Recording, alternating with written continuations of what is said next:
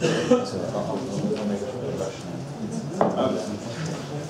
Okay, so hopefully almost is here.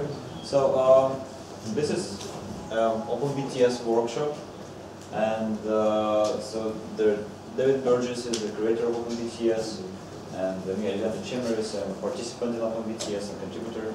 Uh, we will be running this workshop. Most of the workshop will be run by, uh, most time of the, most of the workshop will be run by David because well, he's a creator and he, will uh, go through the architecture of OpenBTS and uh, through the GSM basics, and then uh, we will uh, have a short, um, short presentation about what you need to, to run OpenBTS, uh, a GSM network in your laboratory or uh, wherever you want, and what are legal responsibilities for um, doing it improperly, which is an important part. Uh, so, while we are setting up the recording, uh, how many of you uh, looked at the OpenBTS before? Okay, so we have people who have no understanding of OpenBTS, right? Uh, okay, how many of you look at into GSM networks who understand at least partially how they operate? Okay. Okay, more hands. So, so people who are newbies. Okay, so if well, if the stuff is uh, slightly uh, boring for you, just wait a little bit, and uh, will have time for questions after uh, the presentation uh, of GSM basics, and uh, basically after each part of the presentation. And oh, I think people could ask questions. Yeah, if anyone has a question at any point during the presentation, just raise your hand. Yes, I'd you I'd much rather have a discussion than just sit up here and run my mouth for an hour. I mean, if it's like a huge question, probably it's better to save it for, for the like for, for the after the presentation of the talk everyone. But if it's a small question, don't hesitate to ask right away. Sorry, may I ask one question? Okay, right away. I'm also one of the contributors to this It's recording. And uh, the plan for next year is uh, to implement uh, legacy GSM enrollment. If there is anyone who has an opportunity for the teaching up testing, for just for legacy GSM testing connection, I would appreciate it. Okay.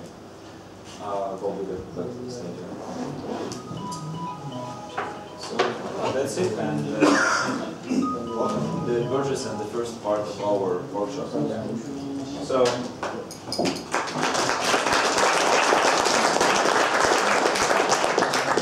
so different people come into this with different knowledge of different things. So if I'm talking about something you already know about, there's a fair chance that somebody else in the room doesn't know about it, so just please bear with us. There's a lot to cover in a fairly short amount of time.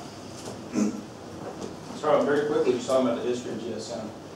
Um, the, the original design, the original planning of GSM started in 1982. Um, and by, um, skipped a lot of that, service started rolling out in the mid-90s, and by 2009, GSM accounted for about 80% of all cellular service worldwide. It still does. Just because GSM is an old technology doesn't mean it's dead. There are new GSM networks being built right now in many parts of the world. And most carriers believe they'll continue to operate their 2G networks for at least another 10 years. So GSM will be with us always, even into the future. Um, It's not going anywhere soon.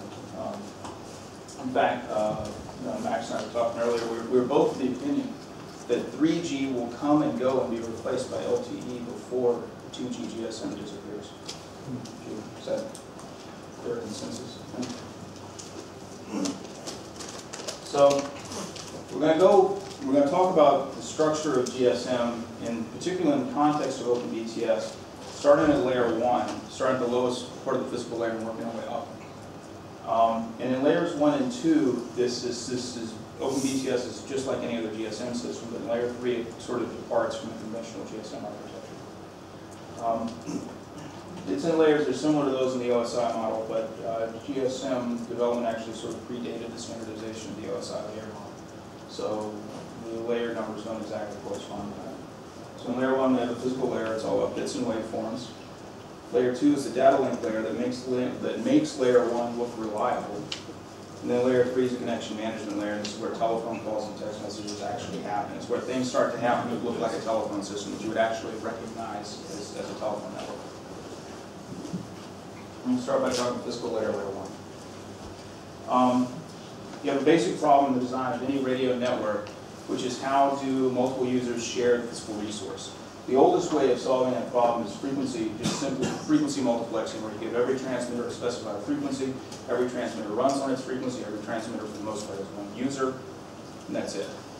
Um, Another approach to this is you can take your whole spectrum and let everyone use it together and time slice that spectrum. So people, different users use the spectrum at different times. Um, This can be done in a synchronous manner using time slotting, or it can be done asynchronously using an aloha protocol like what you see on 802.11. Uh, GSM does it synchronously using time slotting, and it's not all In fact, what GSM does is it uses both techniques. So you have frequency channels, and then each frequency channel is divided into time slots. So you can potentially, you know, have eight physical resources on each time, on each radio channel, and then multiple radio channels running on the same base station. So when you specify a physical resource in GSM, you have to specify it in terms of frequency and time. So this is the basic eight slot structure of GSM. Uh, each of these time slots is just under 577 microseconds in duration, uh, which corresponds to 156 and a quarter channel bits, you know, bit periods on that, on that um, link. And the, the, the part is, the, the extra quarter bit comes in because each of these time slots is preceded by a guard period where there's no transmission, and that guard period is not an integer number of um, duration, at least it doesn't have to be. So, it's a term that's going to get thrown around a lot when you work in GSM. Um, most Americans call this an ARFCN. Um, depending on where you're from and how you choose to pronounce your acronyms, you might pronounce it differently. Um, but it's the absolute radio frequency channel number. And what it is in the GSM system, you have radio channels of 200 kilohertz space, and they're actually wider than 200 kilohertz, which means adjacent channels overlap and can't be used in the same cell. But um, these frequencies are assigned in a, in a very fixed sequence and, and they're numbered. So if you say ARFCN, um, I don't know, ARFCN 867 in the DCS 1800 band, that refers to actually a pair of frequencies, a specific pair of frequencies. One is being used for uplink and one is being used for downlink. So GSM, like nearly all cellular systems, is frequency duplexed. What we mean by that is that the client device and the server device are transmitting on different frequencies. So that they can transmit and receive simultaneously. So the uplink is what we call the signal going from the handset to the base station. The downlink is what we call the signal going from the base station to the handset. And in any given GSM band, when you specify a particular ARFCN, you're actually specifying a pair of frequencies with with a fixed offset. So these are common bands worldwide. Um, ITU Region 1 is, um, if I'm correct, uh, Europe. ITU Region 3 is, um, well, Europe and Asia. IT Region, Region 3 is um, Africa and the Middle East, or the Near East, as you call it here. And um, ITU Region 2 is the Americas. So in most parts of the world, the standard GSM bands are the um, 900 band, actually PGSM 900 is probably the most commonly used in DCS 1800. For example, the GSM test networks that are running here at, in the conference are running the DCS 1800 band. Um, in North America, it's GSM 850, PCS 1900, because we each be different, I guess. Um, these are the standard bands. And you can tell by the placement here what the duplexing offsets are. The duplexing offsets in the high bands are larger than in the low bands. Short question. Sure. Um, the last uh, two bands are the, uh, they are commonly used for testing, uh, or uh, they are commonly used for everything. They're commonly used for everything. Normally what you find, lower bands, lower bands have better propagation. You can cover larger areas in the lower bands than the high bands. The original intention was that the higher bands would mostly be used for urban service. Yeah. Um, and the lower bands are mostly be used for rural service. In practice, in any given country, both of these bands are fairly heavily occupied. So in, in rural areas, the low bands filled up first, but operators came back in and got licenses in the high bands to use, and then they waived them performance, it's not as good. So both bands are used for service, and in most countries, both bands are fully licensed everywhere, even if they're not, even if they're fallow in some places, they're fully licensed. There's very little unlicensed spectrum in these bands anywhere. Okay. There are a few small examples we'll talk about. So I got a, I got a question, that, does the time slot uh, of uh, 500 milliseconds come from something mathematically, uh, mathematic calculation or just? Yeah, yeah, the, there, there's a sort of numerology to the timing of GSM, and it's, um, there are two things that drive that numerology. One is the, the vote, it's, it's actually, it's five hundred seventy-seven microseconds. But the two things that drive all these crazy timing numbers in GSM, one is the, the vocoder frame length of two hundred milliseconds. So it's important that an integer number of vocoder frames can be transmitted in an integer number of time slots. It's not a one-to-one correspondence, but there has to be a, a reasonably rational integer relationship between the two. The other is that the clocks in this system are derived from 13 megahertz OCXO. So every, every clock in GSM is derived from a 13 megahertz source. So it's the interaction of those two requirements that generate this sort of strange pattern of numbers that you see. Just another question. Um, the bands we have on in the table are covered by a simple dual band GSM phone. So there's no special phone needed to have them covered. So if you have a dual band phone, it'll usually cover one low band and one high band. Okay? Um, but most phones, most phones market their quad band. By quad band, but what we mean is they cover EGSM 900, GSM 850, DCS 1800, and And also three band phones. Yeah, the least, the least supported in terms of hardware is PCS 1900, which is used most, it was originally intended for your urban service in North America. It's the least supported, but like I said, a lot, a lot of quad band phones in the market these days. Uh, sometimes what you'll find in a dual band phone, it'll support a low band, it'll support a, a North American band in one side and a rest of the world band in the other. So you like, you'll have a phone that's like GSM 900 and piece. Okay, you're gonna see my code again, I gotta change it. Um, So, yeah, thanks, John, really appreciate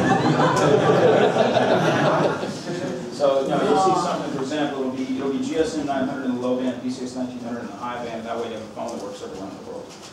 Although it doesn't work quite as well America. Um, A little more talking about duplexing. Um, And this, this will come up if you listen to Sylvain's talk um, later this evening. Uh, The topic of duplexing plays kind of heavily in, in what he's doing. Um, So there are two types of, two ways to do duplexing. One is time division duplexing, where you transmit, and then you receive, and you transmit and you receive. And there's frequency division duplexing, you transmit and receive simultaneously on the same channel. Um, the cheapest thing to implement is time division duplexing. And the reason that it's cheaper is because if you do frequency division duplexing, you actually have to have some physical filter to prevent the uplink and downlink frequencies from, basically you have to have some filter to prevent your, your transmitted downlink signal from jamming your uplink. Um, so, we do a little show and tell. Um, these are duplexers. What's inside are a bunch of tuned cavities. So one side of this is a filter that only passes high band signals, and the other side is a filter that only passes low band signals. And then you can take the high band and low band and run them through the same antenna. And you have, these, the signals are isolated in terms of power. Power ratio for the isolation is about a factor of a billion. So, it's an aluminum brick. It's an aluminum brick with a bunch of tuned filters. Um.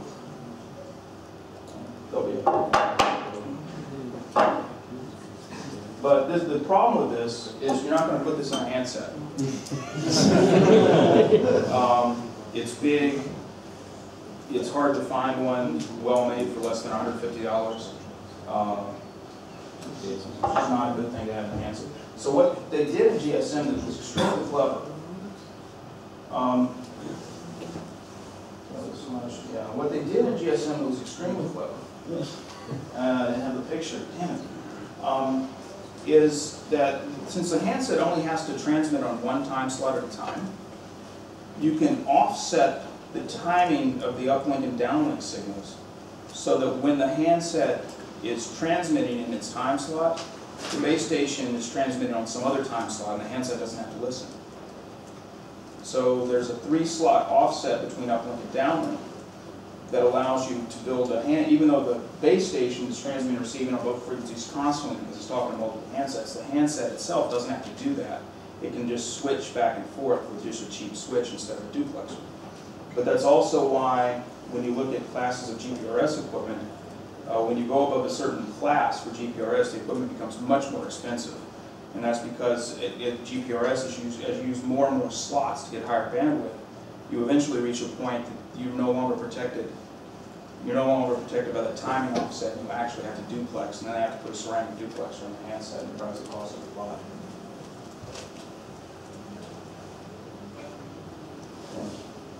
Another little piece of GSM trivia. Um, and, and oddly enough, if you actually start working with OpenBTS, all this will become. Um, the base station controls the output power level of the handset all the time.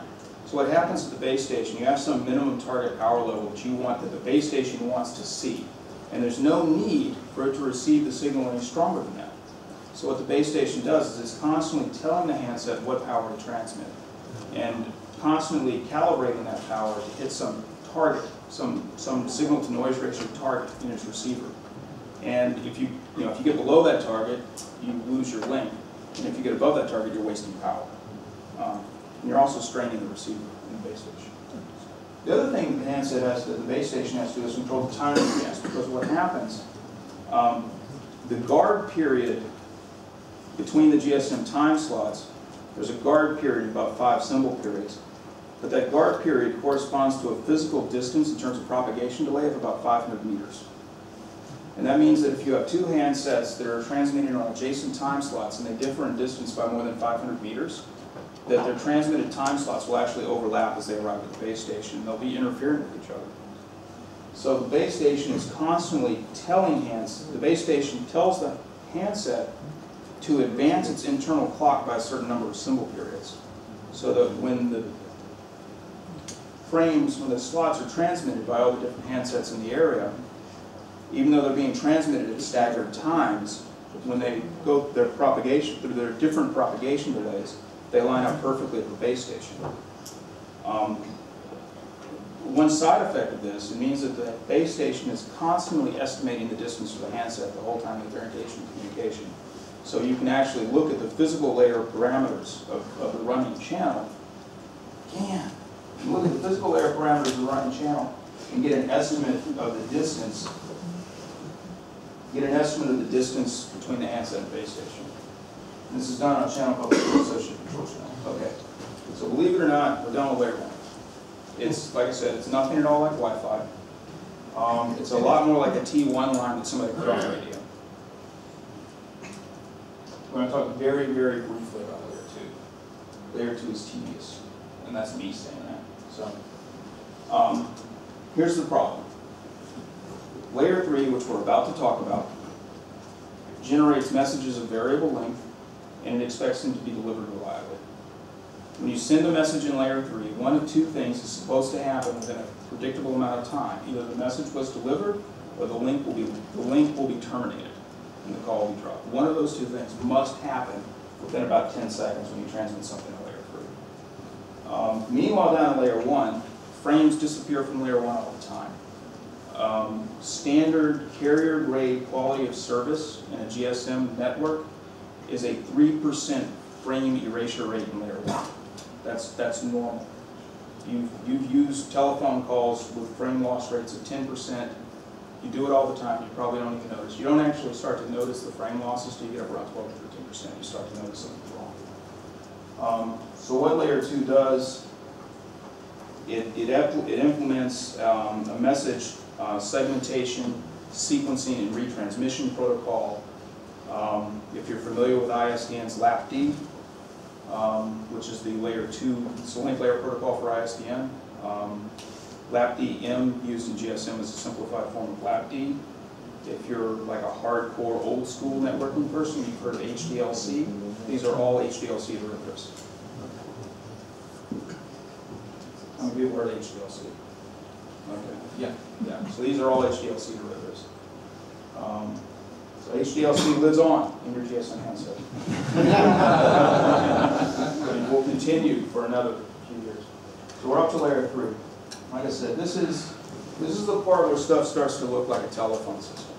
It's the part where messages actually start to mean things. You can like read a message and, and, and actually associate it with something in the physical world.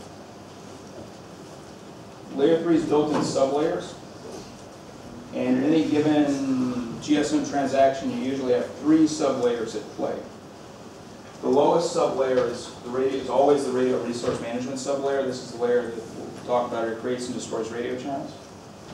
Mobility management sublayer, which takes care of all your security features, authentication, and also keeps track of where the handset is in the neighborhood, so that in the in the network, so they can receive inbound calls correctly. And then your third layer, your third sublayer, is usually call control. Sometimes it's short message service. We'll talk about both of those. There are some other more obscure ones in here, like USSD and um, radio resource location protocol. whatever, It's usually one of these two. The important thing about the sublayers is that when a handset wants service, it has to establish a connection in one sublayer before it moves into the next sublayer to try to start establishing, connection. So the sequence of events when the phone wants service, it first establishes connection in the radio resource layer. So there's a written, you, you have a dedicated radio channel. Then it establishes a connection in the mobility management layer where you verify the identity of the handset, the identity of the handset. And then you start acting, acting the call control layer. So in ISDN systems, you don't really need these. These are the only, this is the only layer you have. Um, because, you know, in fixed line phones, these sublayers just don't exist. There's nothing that corresponds to them. So, radio resource management. You assign, you, you know, you create and destroy and assign radio channels, you page handsets. Um, there's a, a, um, a unicast channel called the common control channel that's used for sending out paging, paging messages when a handset has an inbound, you know, an inbound call or inbound text message. It starts receiving paging messages on the common control channel, carrying its TIMSI or its IMSI. That's done in the radio resource sublayer. It generates the beacon. The beacon is a set of uh, a set of messages that are transmitted continuously on a channel called the broadcast control channel, and these messages uh, describe the configuration of the base station, who runs the base station, what services does it offer, how is it, how are its physical resources arranged so that the handset knows how to access. So all the data elements in, in radio in a radio resource sublayer are um, they're descriptions of physical parameters. That's that's the data elements in the descriptions of physical parameters of the states of the system. And because this presentation is supposed to be short, we actually left out a lot of information about GSM channel types. There's a whole zoo of channels, of different subservices, channels and subchannels in GSM. Um, but they fall into three basic categories. Non-dedicated channels, which are broadcast or unicast channels. Dedicated channels, and then within dedicated channels, two subcategories. DM channels, which are sig dedicated signaling channels that correspond to the D channels in ISDN, and BM channels, which are dedicated um, bearer channels, media channels that correspond to the B channel in ISDN. So, that's sort of the, the channel structure of GSM. Okay, next up, mobility management. Um, the key functions of mobility management, one is to keep track of, again, where a phone is in a network. So let's say you're, um, you're a smallish to medium-sized carrier like AT&T, and you operate something like 63,000 cell sites across North America. Um, a phone has an inbound call, you don't want to page the phone on every single one of those 63,000 cell sites because you won't have enough capacity on your paging channels if you do that everywhere all the time. So you have to figure out where that phone is in the network so that the paging message goes to the appropriate subset of base stations. Um, Mobility management is what message is abstracts. broadcasted. Yes, Okay. well, it's- a unicast message, but yeah, it's Yeah. broadcast. It's Yeah. unencrypted, anyone can see it. Mhm. So like if you have OsmocomBB or something, you can just read the paging channel. You can see who's, you can see who's receiving inbound transactions in your area just by following the paging channel. Okay. Mobility management, um, yeah, you authenticate users. Um, you create session encryption keys in this sublayer. The data elements in this sublayer are identity tokens and um, authentication tokens. So that goes to the data elements. Finally, call control. Um, What does call control do? It, it sets up and tears down phone calls. Um, Call control in GSM comes directly from ISDN. and it's nearly identical. GSM call control is nearly identical to ISD's call, I- ISD call control. Um, And again, the data elements in this sublayer are um, telephone numbers, um, call status goes and things called bearer capability elements that describe what sets of services are supported by a handset. So when you go to set up a telephone call to a handset, you might want to know what codec set that handset supports, so that you can choose an appropriate codec on your, to run your bearer channel. Another one we can talk about is, very quickly, is SMS. Um, In layer three, very little happens to SMS. Layer three is really just a pass-through for SMS. Um, Everything interesting in SMS happens in layers four and five, nothing, nothing in layers three. We can stop talking about sublayers now. Talk briefly about address and address types. That's the important part. Yes. Address types in GSM. Um, The IMSI. The IMSI is uh, usually a 15-digit number that's in your SIM card. Um, It's basically your identity. From the standpoint of the telephone network, you're an IMSI. That's who you are. You are your IMSI. Um, End end of story. Uh, in- Information encoded in the IMSI includes the issuing carrier, so if you're, if you're, you know, for example, watching a paging channel and you're watching IMSIs fly by on the paging channel by looking at the upper digits of the IMSI, you can tell uh, what carrier and what country issued the SIM card. So for example, we run, at at Range Networks, we have a test license to run um, a network in the open um, in San Francisco. And we run it in the DCS 1800 band, but we get lots and lots of foreign visitors trying to attach to our network. And you can spot the ones who don't have roaming service in the United States, um, because when they try to attach to our network, uh, they tell us the network where they last received service. So you can see, you know, phones from Taiwan and China and obscure countries in Africa that haven't had service since they've been in North America, and they're trying to attach to us. And they keep trying, we know they're in the neighborhood because they keep trying to attach to us several times a day. Um,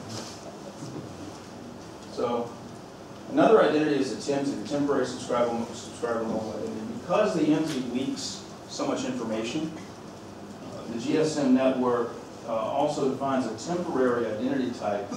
It's just a 32-bit number supposedly assigned randomly, though, although in practice always assigned by from a counter, um, that is used to substitute for your IMSI uh, whenever possible in the air interface. And this is just we've been exposed to the IMSI. In a, in a really good network, the IMSI only appears during the initial attach.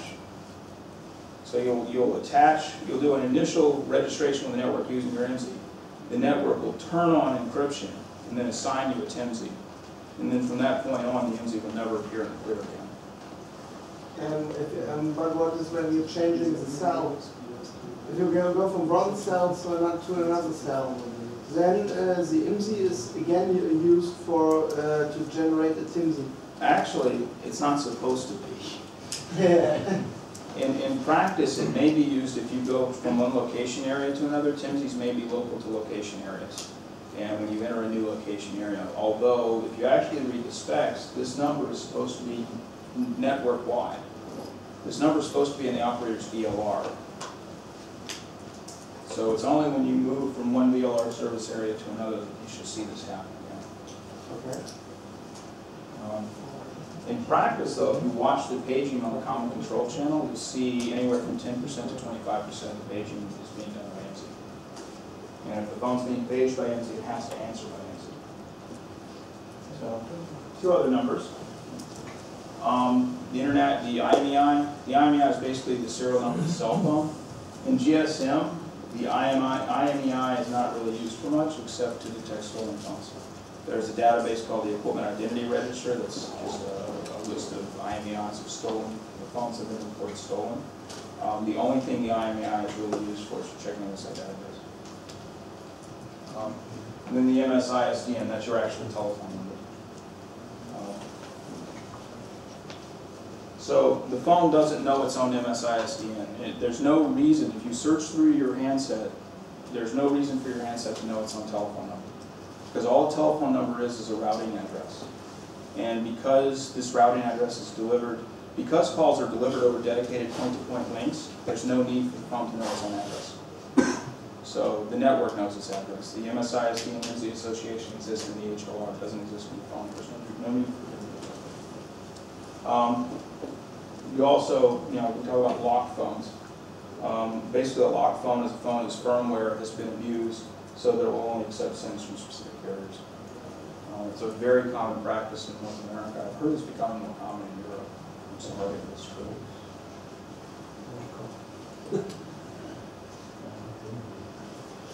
So, any other questions before we stop talking about the GSM side? Could you go back? Yeah.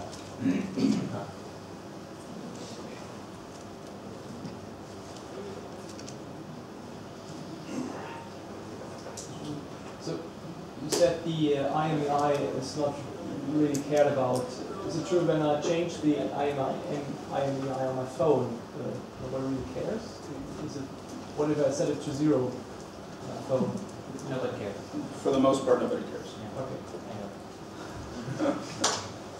Um, although there was a case in, in India a few years ago where so many cheap knockoff, Nokia knockoffs were coming in from China that all had the same IMEI.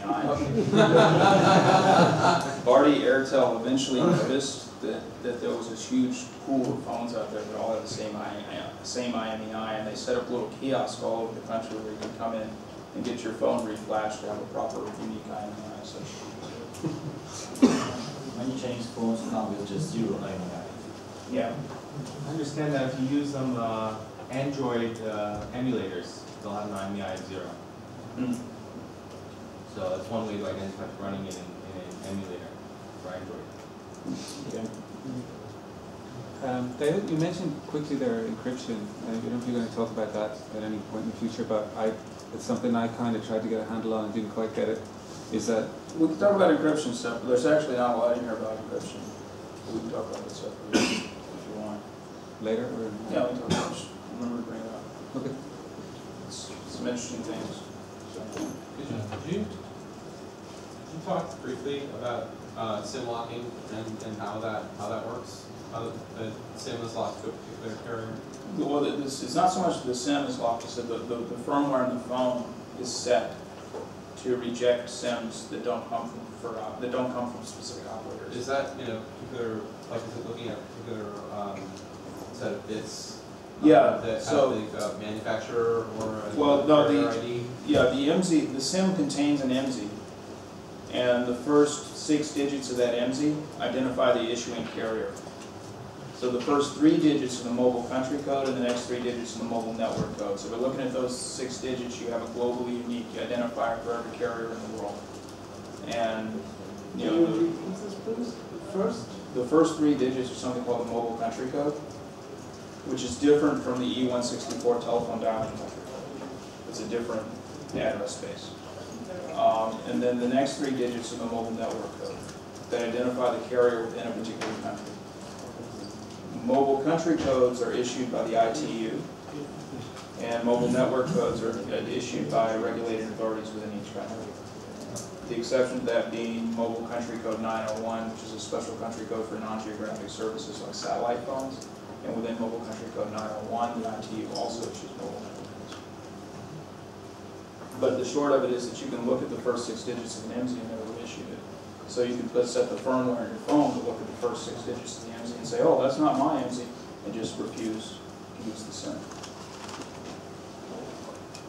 Yeah, Is the IMEI stored in the um, phone itself or in the chipset? So tells the phone, the chipset, I have the IMEI so and so, or does the chipset uh, know that's my IMSI? um, you said the IMEI? When you say chipset, you mean the baseband Uh, yes. sorry. as opposed to the application processor? Okay, so yeah, the IMEI is, um, to the best of my knowledge, in most phones, the IMEI is a property of the baseband processor. Although it is changeable, it, it can be reprogrammed. Um, it's not something that most people do, but it can be done. So, I mean, your typical smartphone is still just, um, your typical smartphone is really usually just a small tablet computer with a GSM modem in it.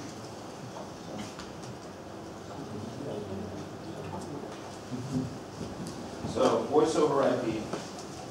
So unlike, you know, in your, in your normal GSM hierarchy, the base station itself is a really dumb device. It doesn't really do anything above layer two. Um, radio resource management, which we talked about, is handled by an entity in the network called a base station controller, BSC. And then everything above, um, everything above the radio resource sublayer of layer three is handled by other entities in the core network, in particular, the mobile switching center, the visitor, the visitor location register, and the home location register. So in OpenBTS, we don't do all that. And I, we just don't. What we do instead is we terminate radio resource management internally, and then we do everything else using uh, SIP, using voice over IP protocol called SIP. So we're going to start talking a little bit about voice over IP.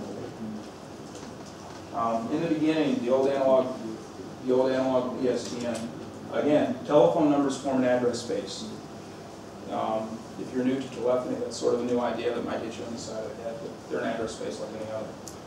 Uh, and the only purpose of a telephone number is to route a route a call to a specific device. It's its only